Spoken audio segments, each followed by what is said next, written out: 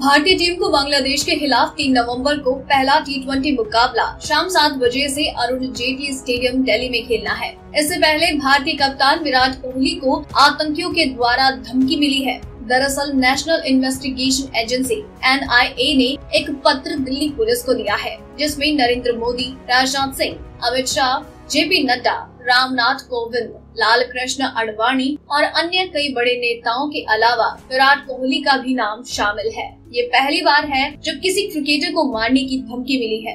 इस पत्र के मिलने के बाद विराट कोहली की सुरक्षा बढ़ा दी गई है। इसके साथ ही दुनिया भर के सभी क्रिकेट फैंस विराट कोहली के लिए दुआ कर रहे हैं, क्योंकि विराट कोहली भारत की शान है।